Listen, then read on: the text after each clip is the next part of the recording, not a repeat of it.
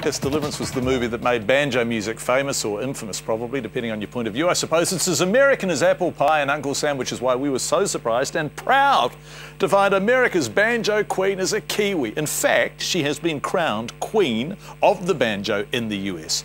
She's in the Country Music Hall of Fame alongside Dolly Parton and Johnny Cash. Beat that. She's from Christchurch. Natasha Utting with Jenny Blackadder. Reeves and Johnny Cash, Dolly Parton,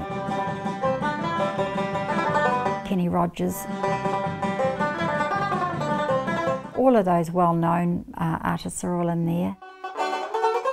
Jenny Blackadder became the first New Zealand instrumentalist to join them when she was inducted into the National American Old Time Country Hall of Fame. So it's, it's a bit of a thrill to think that you're um, in there with all the greats. A well deserved thrill. The Americans adore her. In America, they, the, the people just they stand up as soon as you play. They just love they love being entertained. Um, they're very appreciative. Jenny's won more awards than she can remember.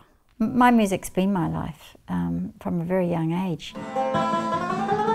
The banjo has a real story, really. The, the four-string banjo actually came from Africa, and then when it went to America, the Americans put the fifth string on to, to turn it into the bluegrass banjo.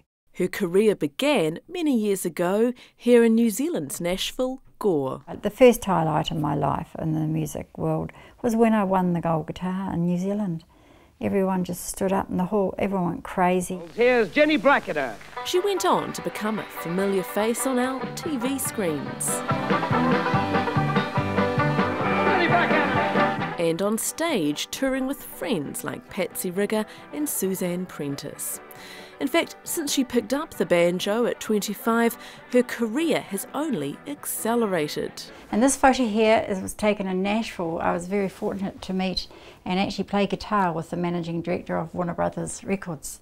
But Jenny isn't just a great banjo player, she's at the top of banjo royalty. The Queen of Banjo I got in 2008 for my uh, part in keeping America's hi uh, historic music alive of Eddie Peabody. Who was Eddie Peabody? Peabody, he was the king, the king of the banjo of America. Does that mean you are the best female banjo player they, in America? That, they've named me the Queen because he's no longer around and I play his music. And every queen deserves the crown.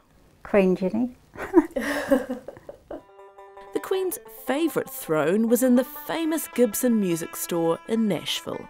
It was a $64,000 gold plated banjo, and I sat on the famous Gibson stool and I just played some Dixieland.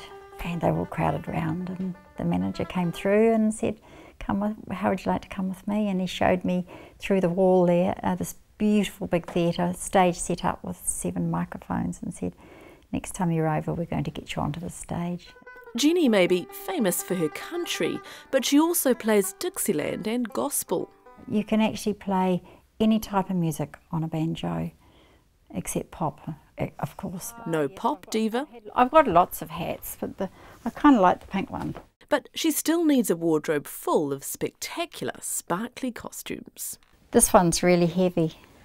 Gosh, it is, isn't it? Yeah. It's tremendously heavy. And you've got to wear the heavy banjo as well. Yes, the banjo's about 12, 13 kgs. Wow.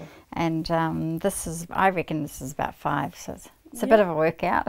Last week she was honoured here with a Queen's Service Medal for music. And on Tuesday, our crowned and decorated Queen is off to Branson, Tennessee to play no less than 76 shows. Branson's the new Nashville, really names like Willie Nelson and Mickey Gilley and, and, and I guess the Dixie Chicks and Garth Brooks, they all go there from time to time. Jenny will be performing three shows a day at the massive music festival called Worldfest.